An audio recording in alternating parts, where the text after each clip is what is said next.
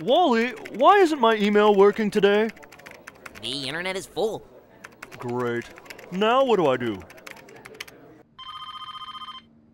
I wonder if I'm supposed to see anything when it's draining.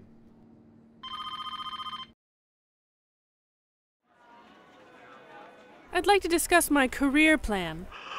Um, the plan is that we'll keep you around until we find a starving Elbonian to do your job for less. In other words, blah blah, maybe someday you will get a promotion. Ah.